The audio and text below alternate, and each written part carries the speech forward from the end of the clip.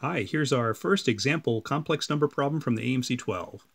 Let S be the set of points Z in the complex plane such that this product is a real number which describes the graph of the set of S. All right, we're given the condition that this product is a real number and we're trying to understand where that places Z on the complex plane.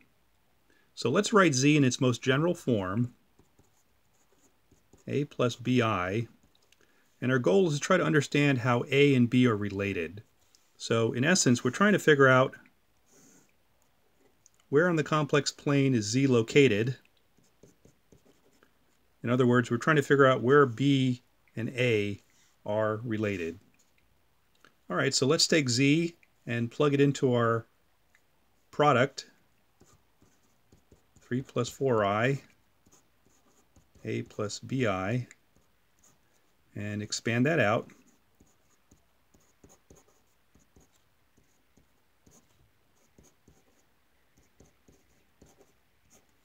And we want to land on the positive or the negative real axis, so we want to set the imaginary part equal to 0, from which we find that 4a is equal to minus 3b, from which b minus 4 thirds a and that's just a line that runs through the origin with a slope of minus 4 thirds. So that matches choice A. Now there's a somewhat simpler way to get to this answer by using de Moivre's theorem.